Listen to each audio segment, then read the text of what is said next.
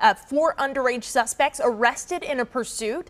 This happened just west of Lake Hefner. KOCO's Audrey Goodson joins us near Hefner and Council, where that pursuit ended with what we know so far. Audrey.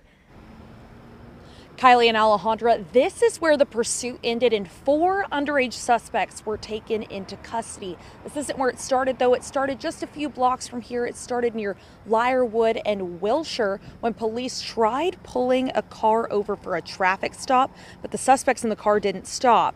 The pursuit ended near Hefner and Council, where two of the suspects were arrested immediately, but the other two got out of the car and ran on, away on foot.